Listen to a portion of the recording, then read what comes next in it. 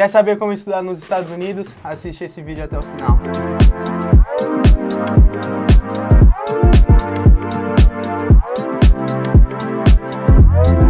Salve, salve pessoal! Pra quem não me conhece, eu sou o Vini. Eu sou o Vitinho. É isso aí, a gente tá fazendo uma série de vídeos aí pra você que quer sair do país, tanto pra estudar, turistar, conhecer a casa da avó, da tia que mora longe. esse, é, o- esse é o vídeo. A gente já fez alguns outros vídeos, tá? Dá uma checadinha lá no canal, lá nos vídeos anteriores, não é não, Vitinho? É isso, a gente já mostrou como você né, pode se planejar já pra escolher o seu destino, onde você vai vir, como você pode tirar seu passaporte. A gente tá falando um pouquinho mais dos, dos Estados Unidos nesses últimos vídeos e nesse vídeo a gente vai continuar nessa pegada, né? Só que falando mais pros estudantes, pra quem quer vir estudar, seja ou fazendo um curso de inglês ou vindo pra faculdade, né, Vi? É isso aí. E ó, se você assistiu o vídeo anterior, você sabe que a gente já apresentou todos os estados, os melhores estados pra você vir pra cá. Partindo desse ponto que você já escolheu o seu estado, o seu lugar de origem, né, a sua nova casa, É, fala aí. você vai seguir esses passos. No meu caso, eu vim pra cá como estudante de inglês. Muita gente no Brasil não sabe, mas você pode vir pra cá estudando apenas inglês, não precisa é isso. entrar numa faculdade. Se você tá sentindo que seu inglês não é tão bom assim, se você precisa melhorar o seu inglês, ou se você só trabalha, certo? E só quer aprender o inglês e voltar pro seu trabalho, esse é o vídeo. Então, o processo funciona, é bem simples, eu acredito Fala que seja aí, bem similar ao processo de Faculdade, de né? faculdade. É, basicamente, você vai fazer o seguinte: você vai procurar uma, você vai procurar uma escola de inglês que te agrade, e dentro dessa escola você vai entrar em contato. Se você não fala inglês, não tem problema. Você pode entrar em contato por e-mail. Normalmente, o meu processo foi por e-mail, e você manda um e-mail para eles lá falando: ó, tem interesse de,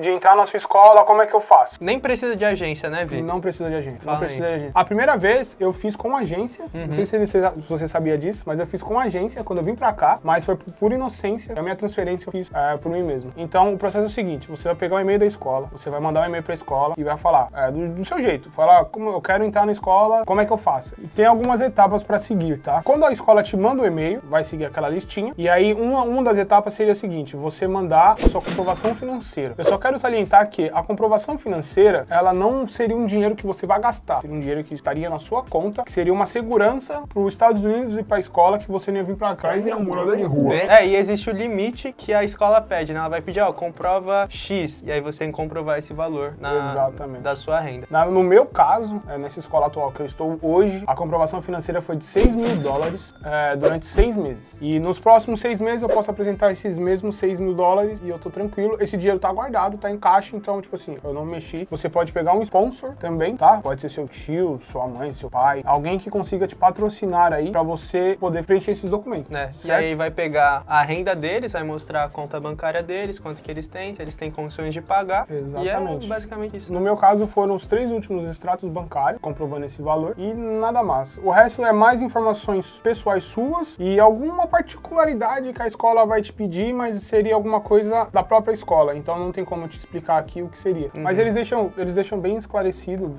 top por top, e é bem tranquilo. Uma das vantagens que eu vejo do curso de inglês seria a praticidade e a comprovação financeira baixa. Porque no meu caso, eu comprovei apenas 6 mil dólares. Na faculdade, acredito que seja É um o pouquinho triplo. mais. É, mas a gente vai chegar lá, A gente né? vai chegar nessa parte. aí. Aham. Mas a escola, fala aí, Vi, como que é essa experiência de você depois que passa por isso, quais que são os próximos passos, né? Depois que você mandou sua documentação, comprovou sua renda, o que, que você tem que fazer pra continuar esse processo? A partir desse momento que você comprovou sua renda, a escola vai te emitir um documento chamado I-20. Esse documento ele é muito importante, que esse a partir desse documento você vai conseguir levar no consulado, você vai conseguir tirar seu visto. Acho que o processo é um pouco similar com o processo do college, Sim, é? exato. É, a, a faculdade, como o Vini falou, ela vai ser um pouquinho mais cara. Então, provavelmente, quando você tiver que fazer a sua comprovação financeira, você vai ter que estar com uma renda maior para mostrar ali para a faculdade. Mas o, o processo da faculdade é, começa antes disso, na real, né? Primeiro você vai ter que escolher qual faculdade que você quer vir. Então, você vai ter que aplicar para essas faculdades. Se você tá vindo por conta própria só para estudar, vai ser assim, você vai ter que entrar em contato com a admissions da faculdade, você vai ter que pedir para fazer a aplicação, eles vão te mandar o passo a passo para fazer a aplicação. Algumas aplicações vão pedir para você fazer algum tipo de redação, vão pedir algumas informações de você, aonde você estudou, seu histórico é, escolar. E aí você vai ter que esperar até ser aprovado. Depois que for, for aprovada a sua aplicação, aí eles também vão pedir pedir a comprovação financeira que você vai ter que mandar. Pode variar aí, dependendo da faculdade. Se você vai, vai para uma junior college, é entre 10 a 15 mil dólares. Se já é um, uma university, já pode chegar até 40, 50 mil dólares aí Nossa, por ano. diferença é, de preço. é bem caro mesmo. Mas fora isso, isso daí você tem que comprovar, não tem Lembrando, jeito. Não é um dinheiro Não que é você o dinheiro que você vai pagar. Porque você indo para essas faculdades, você também pode aplicar para bolsas, as famosas Hum, scholarships. importante. E existem diversos tipos de bolsas, né? É, eu vim com bolsa de estudante atleta, vim para jogar bola. Esse é um dos tipos. Tem bolsas que você pode pegar simplesmente por ser latino, por ser brasileiro. Existem bolsas que pode ser por, por mérito, algo que você fez de diferente no Brasil. Sim, Ou verdade. talvez também pelas suas notas, se você já tem umas notas né, legais ali no Brasil. Ou você pode aplicar e eles vão pedir tipo um passo a passo. Ah, você tem que fazer X coisa, essa redação, você tem que fazer um projeto. Existem vários tipos de bolsa que você, que você pode aplicar para vir para os Estados Unidos. Essa E- bolsa de esportes, o critério é muito alto pra você conseguir? Cara, então, aí o esporte já entra na parada de estudante atleta, que eu acho que muita gente. É, tá, tá virando algo comum agora no Uhum. Brasil. Vejo muita gente tentando vir pra cá, é, tentando jogar bola também. E o processo é: você vai ter que entrar em contato com o coach, você vai ter que falar com o coach, mostrar seu vídeo de, de melhores momentos. É, ele vai ter que gostar, provavelmente ele vai marcar uma call com você, né? Vai falar: ô, então, gostei do seu vídeo. É, você consegue pagar quantos por ano? Vamos negociar a bolsa e tudo mais. Vai fazer todo esse processo de, de negociação. Ele vai ver quanto que tem ali no budget dele pra, pra oferecer de bolsa. Dando tudo certo, o processo continua normalmente, só que você é um vai. processo simples, então. É, é, é simples, mas você tem que, tipo, é, não é algo assim, qualquer um consegue. Você tem que Sim. estar com um vídeo bonitinho, você tem que mandar um e-mail pra ele, é, provavelmente mostrando o seu currículo. Se você já teve experiência de base no Brasil, vai contar muito. E fora isso, fora todo esse processo pra você ser aceito, fazer a aplicação e tal, você ainda tem que fazer as provas de proficiência de inglês, né? Tem o TOEFL.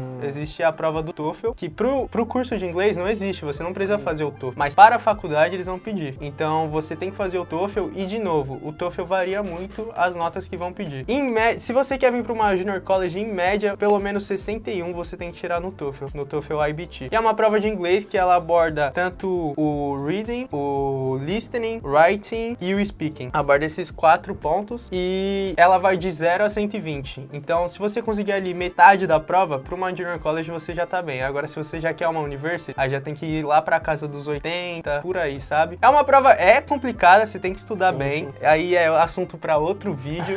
e também, fora o TOEFL, tem o SAT, que o pessoal chama de o Enem americano. Mas eu acho que é mais fácil o Enem. O Enem eu acho muito difícil. Você já Nossa, fez Enem? Fiz o Enem, eu não fui muito bem. É, então o SAT. Desculpa, mãe.